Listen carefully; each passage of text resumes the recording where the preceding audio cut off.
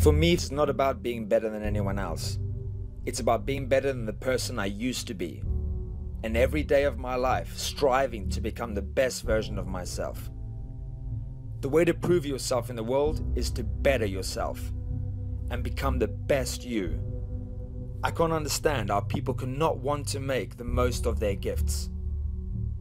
How they cannot want to make the absolute most of their life and become their absolute best. All my life, I've wanted to be great.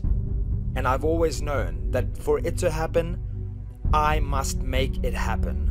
No one else is going to make it happen for me. Don't you believe that you deserve something great? Don't you believe that you deserve something better than you have right now? If you do, then act like it. Start acting like it and take charge of your life. Take control of your life rather than letting life take control of you. If you want your life to change, you must change. What if you only had one more day? What would you do? Would you spend your time worrying about life or would you spend and invest your time doing what you love? Whatever you really want in life, do it now. Because if you don't do it today, tomorrow may never ever come. Free yourself from the excuses and decide now. What do you really want your life to be about? Divorce the old stories that don't serve you. Divorce the lies you've been telling yourself about why you should change and turn those shoulds into musts. Make your life a must and start today, not tomorrow, today. Make a decision right now that you are going to step up. What is the purpose of your life? What do you want? Hold yourself to a higher standard.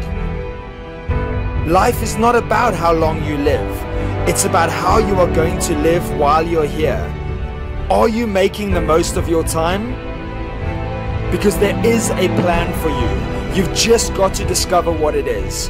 You've got to find out what it is for you because it'll help you make the decisions and motivate you to get up and make it happen. What do you really want? You get one opportunity in life, one chance to do what you want to do. So what are you going to do? What are you going to do today? There's only two guarantees in life. The first is that one day you'll be dead. And the second is that if you don't take action, you will never achieve anything in life. So start now. So what if you fail? I've failed a thousand times, but each time I fail, I fail forwards. Because as long as I'm failing forwards, it's a step forward in the right direction every time I fail. So fail and fail again.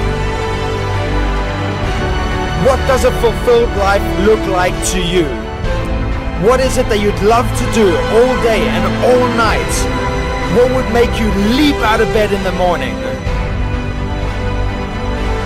It won't be easy, but I promise you it'll be worth it.